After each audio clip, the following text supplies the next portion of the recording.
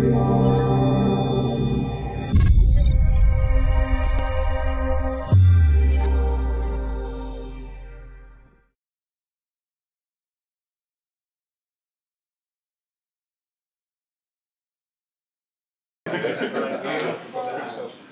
going to talk AI 101. This is really about how you can use AI in the Power Platform, the different options you have available to you. I'm Julian Sharp. Buy my book, it's coming out soon, AI 900 Fundamentals Exam, coming out Microsoft Press very shortly with final proofs. Within hopefully a couple of weeks, if you're on Amazon. So if you're interested in the AI Fundamentals book, that's there. Uh, so a bit about, sorry, a bit about, uh, talk about me. Um, yeah, I, I've been involved in Dynamics and Power, Power it first came up, and I'm a big proponent of using AI in my solutions uh, to enhance data, enhance the user experience. So I'm going to talk about, really just give you a flavour in 20 minutes of what you could do.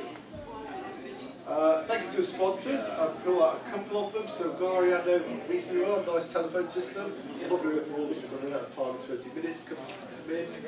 Uh, some sponsors as well. That's up uh, Packt, who my publisher my uh, first book, my PL200 book, Ninty and Survival. And all the good people go visit the stands, deep for backup. So, first of all, we're going to try to define what's artificial intelligence, because this is one of the key things. What do we mean by artificial intelligence? And I like this quote. It's about getting computers or an app to do things that we would think of as intelligent. Not just do a human, because humans do dumb things. So it's about having behaviour that uh, mimics what a human does, especially on the higher level of intelligence. So that's what I mean by AI.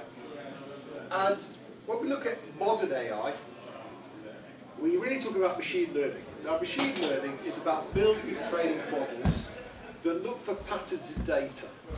They look for similarities, patterns, uh, similarities in data. And that's we, we talk about training models we train models with lots and lots of data. This is what machine learning does. We've got the power of the cloud to be able to go process all of that to create these very complex models to predict the future or to predict new data. That's what that's what we mean by machine learning. Just want to make clarify that's what it is. Okay, but it requires lots of data. I mean, lots of data to do well. More data, the better. I could spend the whole day just talking about data. So what options do we have with the Power Platform? And we have an awful lot. Most people think, oh, we've got AI Builder. But there's an awful, uh, Power Virtual Agents, which are part of the Power Platform. Power, Virtual Agents use AI in them. They use natural language processing to understand what somebody's saying. But there's a whole raft of other services, uh, such as Azure Machine Learning, Azure Cognitive Services, Azure Bot Service, and a new thing called Lobe.ai. Anybody here looked at Lobe.ai? You have not, I'm going to recommend you have a look at it afterwards. I'm not going to talk about it today, but go to lobe.ai in your web browser, download it. It's really cool. Microsoft actually bought it. They bought going to be Ignite soon. Okay. Um, I can make them available. So, I just want to talk about this now. So when we talk about AI, AI is a encompassing all encompassing, that's not my time, I don't think it's, no, it's not my time. Let's make sure we're out of time. Um, AI is this all-encompassing thing. Now, AI is more than just machine learning. Machine learning is definitely just the common subset. It's most of where people are spending their time now, using data to find patterns in data, because we've got the cloud power to do that. Then we've got a thing called cognitive services, which are part of Azure. So they are pre-built models that Microsoft has trained and you can just use them. The idea of cognitive services, they are easy to capture, easy to use, and they, they solve some of the common AI problems involved in business. Uh, so I always say that cognitive services, they're a subset of what you can do. And then we've got AI Builder, the Power Platform, which is very much aimed at somebody who doesn't understand what, what I've just been talking about, just wants to use something. But again, it's a smaller subset. I'm going to really try to explain what we can use. So we can, we can actually use AI Builder and Quantity and machine learning in Power Platform now. So, hey, come on in. Come on in. So, AI Builder, what is it? For those of you who haven't met it before, my slides are Uh, what is it? It's low code AI. I can just very quickly go, and you have to pay a license for it. It's not cheap.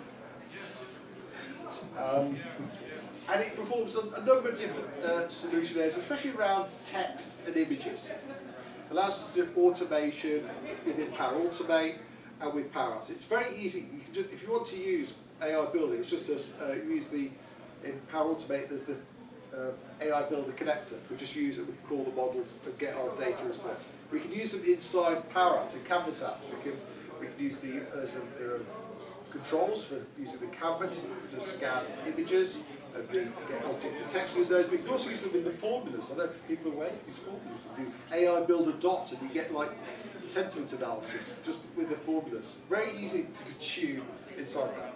And to build the models, uh, it actually comes with some pre-built models. So you just go straight in, things like uh, uh, language detection, sentiment analysis, so you don't need to do anything. You can also build your own models, say your own, own processing on your own documents. Where you, swing the door shut. Yeah. Struggling with the echo. Yeah. Well, you can actually upload your own documents uh, and then pictures and then process those. So you sort of do your own training. And it's like, we talk about training models, you just press a button. It's very wizard driven, very simple to use. That's what most people think of it. Uh, so I, I, call it AI for Dataverse. Uh, being able to, and it, is, so it comes over those things, vision, language. You've also got prediction models where you can predict, uh, it actually creates new data. So you say, okay, predict what my sales are from the other rows. So it adds a column into your table, and you get prediction value. So that's quite straightforward. You don't need any skill to use it, but it is quite limited. Uh, so yeah, so this time we can choose the, uh, we can build train the model, we use the pre-existing ones, we can consume it Canvas and powers, and we can't consume it inside a model-driven app. And we can use the prediction. But it, what it does, it allows us to create that enhanced user experience. Uh, makes it very, they're very simple and easy to use. Is there any way you can hit it with code? Uh, with this, yes. Okay. Everything's available. Well, AI Builder, don't know, I'm going to talk about it. I'm, I'm, not, I'm going to get into that.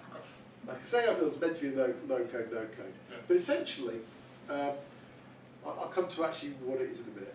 Then we've got cognitive services. So cognitive services, there's about 30 of them. Separate things, uh, they're pre-built models. Effectively, they are webs, uh, REST APIs you could call. So if you're a developer, you can use these. They're just REST APIs. They're really trivial to use. Very easy to add into your applications, but you need that developer skill. But they're broader. Essentially, when I talking about cognitive services, it's about taking unstructured data and turning it into something structured that you could use in your program. So extract text out of documents, extract, uh, perform images, do certain activities. And you'll see there's actually a bit of an overlap with AI Builder. And I'm going to come to that in a bit, where the overlaps are.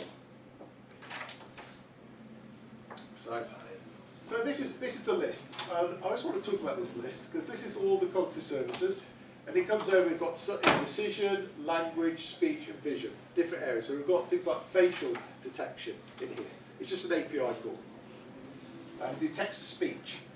Um, I can do translation. I can do text analytics. So text analytics includes things like uh, key phrase extraction, named entity recognition, sentiment analysis, a number of different things that you can perform. So some of these here. It's got a great one, it's anomaly detector. So all of these services are available just through HTTP calls. Now what we have is we have connectors for the Power Platform for some of them. So although we talked about using AI Builder, we have connectors for a whole load of these other things which you just use inside the Power Platform. You may not be aware of them. There's a load of Azure services on here. So, so yes, things like vision. We've got all the vision ones. Uh, so it's in a sense we have an overlap. I'm going to talk about the overlap. See that in AI Builder in a second. But you see the range. Now we don't have connectors for everything. We don't have anything on the speech side, uh, on the translator. But it's just an HTTP call. Who here knows how to create a, a custom connector? You can create a custom connector on these if you want. Or you can just use the HTTP connector to call them. If you've got to do a little bit more work understanding. They just return JSON. So are, these are really easy to consume.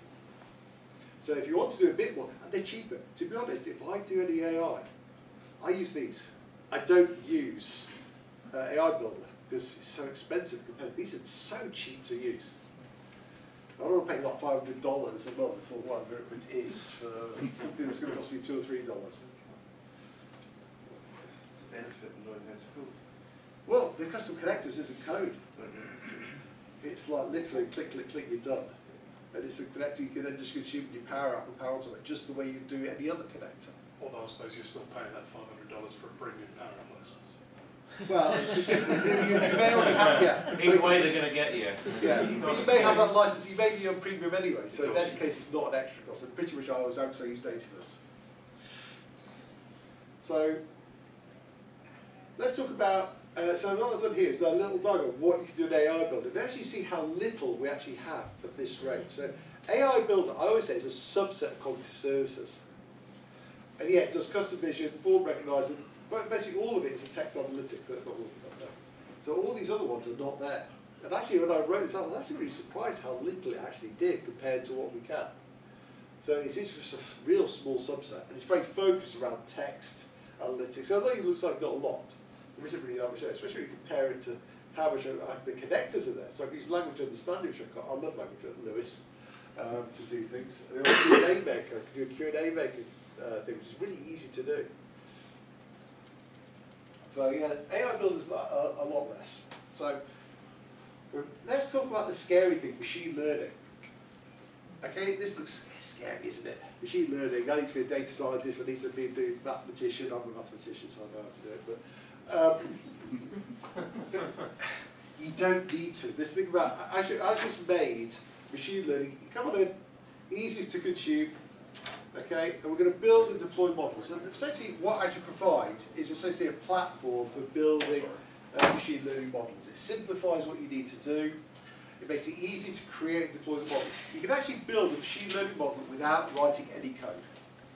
You know, aware of this? You can, we've got, then we can write code if we want. We can use uh, uh, Jupyter Notebooks, we can use R, we can use C Sharp. But we've also got a thing called uh, Machine Learning Design, which is a drag and drop tool. We've got automated ML, which actually just say, give me the best model for this set of data, and it goes away and does it. I mean, you're going to pay for a lot of CPU, uh, but it builds it. And then to deploy it, I just press a button and it deploys it into a Docker container. And I don't I, I've done it, I don't know anything about Docker, but I can deploy one. Okay, and then it's it just ends up being a web service. It just ends up being a REST API. Because it's a REST API, we can consume it. So, uh, it has a whole load of uh, services, but something like this, I, I tend to use machine learning with the machine learning design, it's drag and drop tool. But I have to know a bit about the algorithm. I just, there's a bit more work to do, and you need to get your data, there's a whole lot there, I'll probably spend all day on that. So, how can I use that with the Power Platform? Well, it's just a REST API. So I can use the HTTP connector. For what? Just consume it. Uh, I can create a custom connector, which is useful if I want to call it over and over again and make it available to everybody else. But there's something else.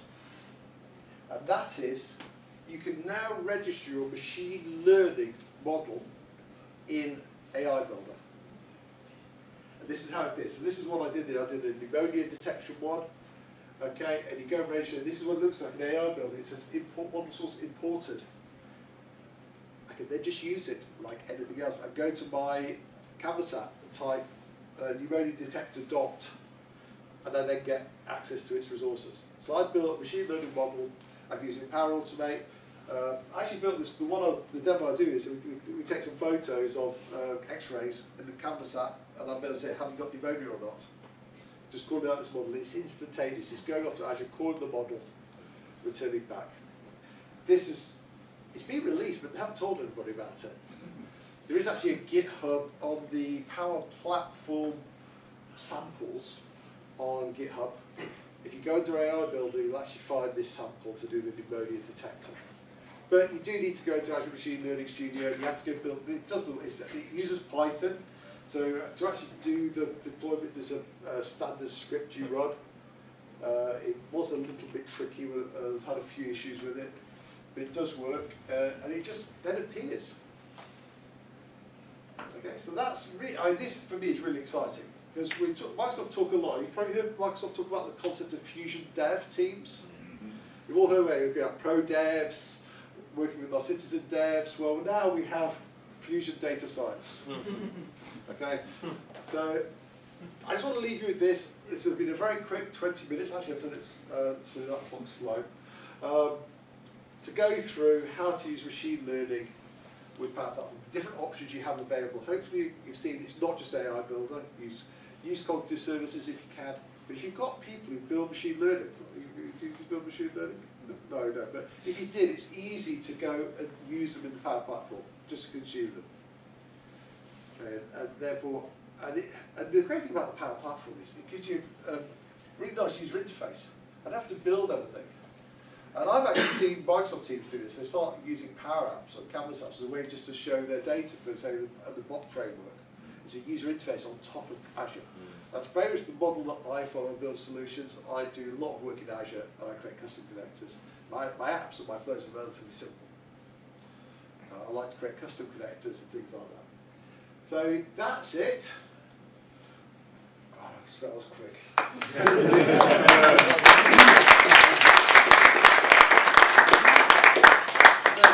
so, uh, I'll, I'll, see if I, uh, I'll put a post on my LinkedIn through where I get down and copy, copy these slides. More blogs, yeah. More blogs, yeah. Okay. Any questions? And there's some feedback. Yeah, sorry, please. Any questions on any of that? That was really last information. What sort of things have you, uh, have you used the machine learning for? Okay, um, I work with an organisation that get 10,000, e it's a uh, complaint handling system, 10,000 emails a week. Um, a lot of the people, I, I really hate email because people reply, the people who reply thanks, I have a number of people I hate, the people who reply thanks to everything, because it goes into your queue, you have to deal with it. So out of those 10,000, emails get about three or 4,000 with nothing. So there are either people saying, okay, all this is done, so they didn't need action, but somebody had to look through them because somebody's going to look at that email. Yeah. Uh, so what we try to do is I put uh, machine learning to actually, we examined all the emails over a couple of years. We actually analysed if they needed responses or not, and I built a model for that, effectively to prioritise emails. They wouldn't let me implement it though. because then, oh, it's AI, what's it doing? Is it going to be right? And that's always the challenge you face. I mean, it was a really simple model to build. Whereas we, we actually want to do prioritise, we, we, under that key phrase say, okay, there's particular words to look for, sentiment, we, we did like sentiment analysis, keywords, and also this model which looked at trying to figure out does it need a response. Yeah.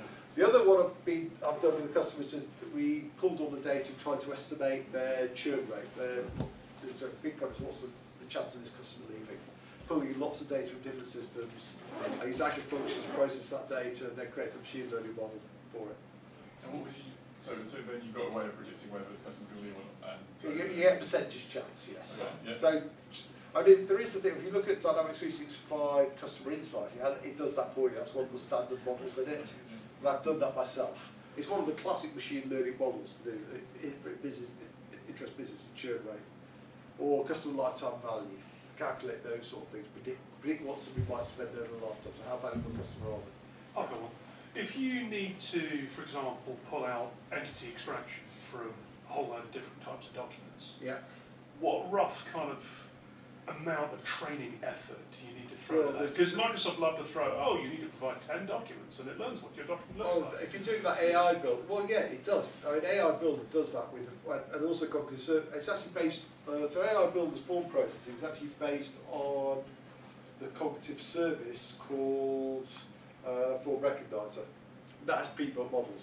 And what they've, uh, what they've done is they've trained the model. What they realised is they, they built this big neural network for doing it. And they realised if they just chop off the last bit, they can make it understand new documents, which is why you only need like 10 to 15 copies.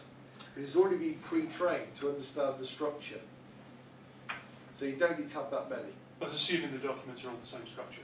Well, re- they have to be. They have to be. They can be. They have to be a sample of them. The more you give it, the better. And it, and it's, but it just takes time because you have to go through each one and say, okay, does that means that and that means that. Yeah. So ideally, I mean, this is why I say train on invoices. Invoices have a pretty standard structure. Yeah, I've, I've been um, training SharePoint Syntex, which under the hood is effectively a machine learning model. Yeah. Uh, mileage varies massively. Oh yeah. I think. I think at the end of the day. Invoices, it's amazing. Yeah. You use a client spec, which Yeah. is going to be different every time you get one, and it's all over the place. Yeah. Yes. I've got to get to the other side. Yeah. Sorry. Yeah. Good. Thank No, you very much. Thank you very much. One one question, how would you articulate the difference between reporting and AI? Because most conversations go into, they end up specking out their AI, and you're like, no, you just need a report. Yeah, well, AI is about enhancing the data. So I can use AI to create new data, so new predictive value, it enhances my reporting. So if we look at Dynamics 365 sales, we've now got uh, in the sales preview, we've got something called uh, premium forecasting, which just generate, it generates a pre, uh, it creates a new field called prediction of the forecast. And then that's in the report. To generate something new. Yes. Cool, sorry. So I, I, talk about- I, talk- I talk What was that, was that called, sorry? In sales, you mentioned that.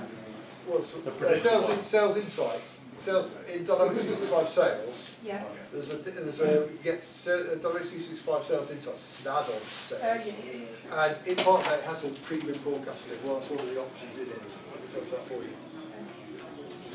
Do you ever play with Thanks. any of the machine learning models inside of it? You built in? Sorry, Yeah, The ML the to to well. in Synapse.